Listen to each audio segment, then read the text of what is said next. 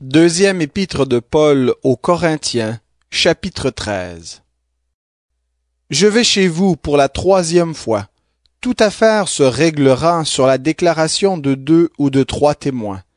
Lorsque j'étais présent pour la seconde fois, je l'ai déjà dit, et aujourd'hui que je suis absent, je le dis encore d'avance à ceux qui ont péché précédemment, et à tous les autres.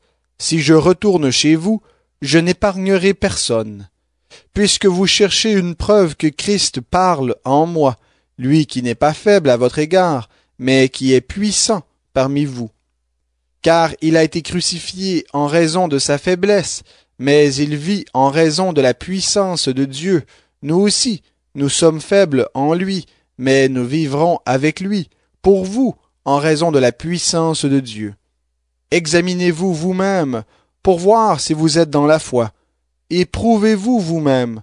Ne reconnaissez-vous pas que Jésus-Christ est en vous, à moins peut-être que l'épreuve ne soit pour vous un échec. Mais j'espère que vous reconnaîtrez que l'épreuve n'est pas un échec pour nous. Cependant nous prions Dieu, que vous ne fassiez rien de mal, non pas pour que l'épreuve paraisse pour nous un succès, mais pour que vous fassiez le bien, même si pour nous l'épreuve semble être un échec car nous n'avons pas de puissance contre la vérité, nous n'en avons que pour la vérité.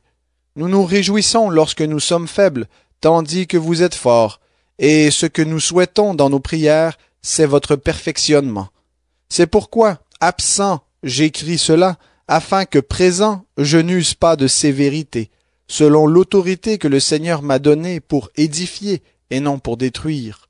Au reste, frères, soyez dans la joie, tendez à la perfection, consolez-vous, ayez une même pensée, vivez en paix, et le Dieu d'amour et de paix sera avec vous.